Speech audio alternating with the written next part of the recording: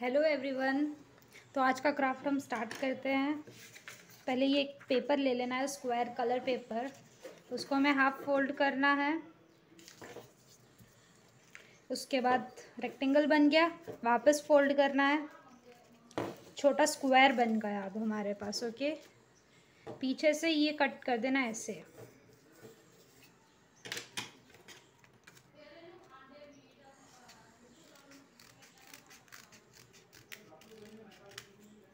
Like this और ये हमारा वेस्ट है साइड में जाने दो। अब हमें इधर लाइंस बनानी है। ये ध्यान रखना कि ये कॉर्नर में टच ना हो जाए।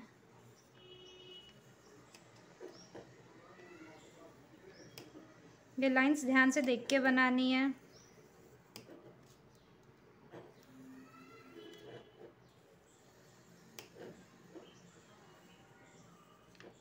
लाइक like दिस अब हम इसे कट करेंगे।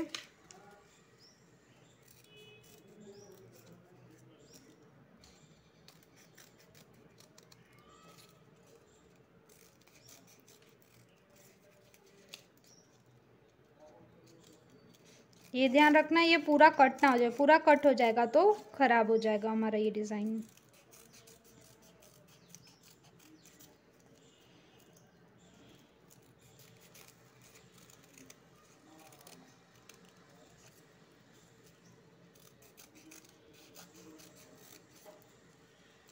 And the last one. अब इसे खोलते हैं।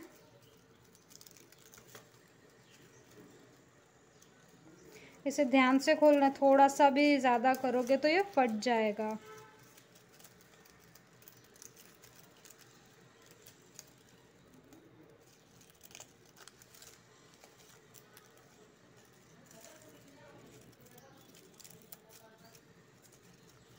हमें ऐसा सेम एक और बनाना है ये एक डिज़ाइन बन गया सेम ऐसा अलग पे अलग कलर के साथ। पहले इसे हाफ़ फोल्ड करना है, फिर और हाफ़ पहले रेक्टेंगल हो गया, फिर स्क्वायर छोटा स्क्वायर ओके फिर पीछे की साइड से हमें कट कर देना है पार्ट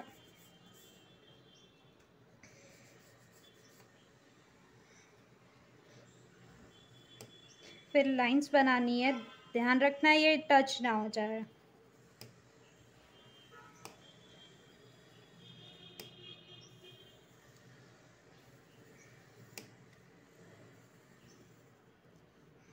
लाइक दिस अब हम इसे कट कर लेंगे।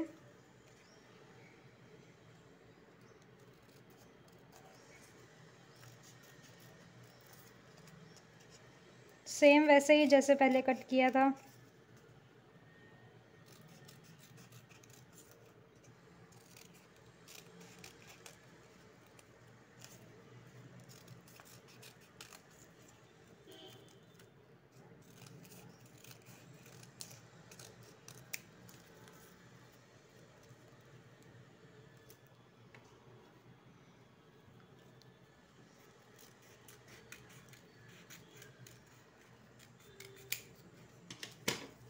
इसे हम अब ओपन कर देंगे।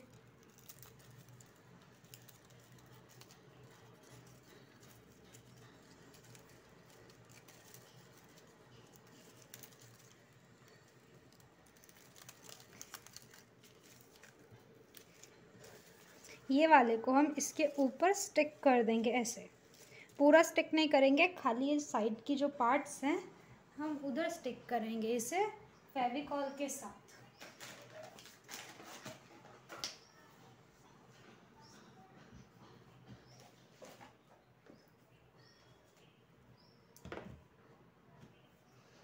साइड साइड्स में थोड़ी थोड़ी फेविकॉल लगा लेंगे।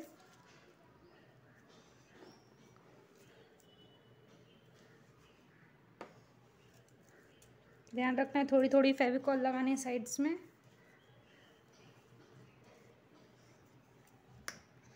आफ्टर दैट ये वाला जो है डिज़ाइन उसको इसके ऊपर रखेंगे।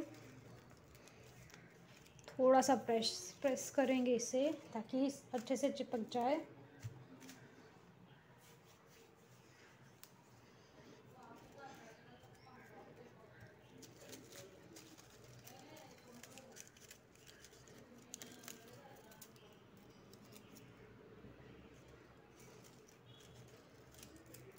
फिर ये एक ऐसा डिज़ाइन बनेगा।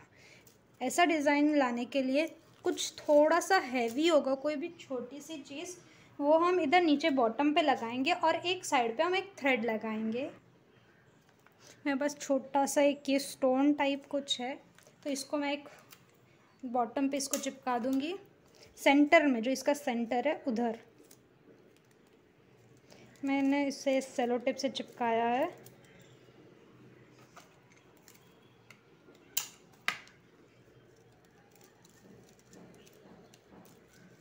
ज़्यादा बड़ी सेलो टेप मत लगाना, नहीं तो वो अच्छे से हैंग नहीं हो पाएगा। आफ्टर दैट इसके टॉप पे हमें इधर एक थ्रेड लगानी है।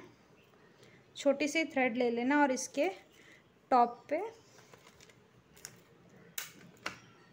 सेलो टेप की हेल्प से चिपका देना।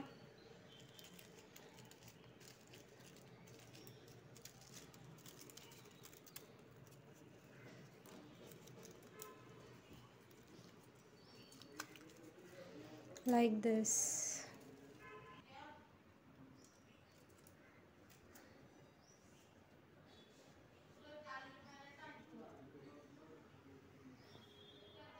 After finishing this craft सब लोग मुझे फ़ोटो भेजेंगे टिल ट्वेल्व ओ क्लॉक मेरे पास सबकी फ़ोटो आ जानी चाहिए ओके बाय एवरीवन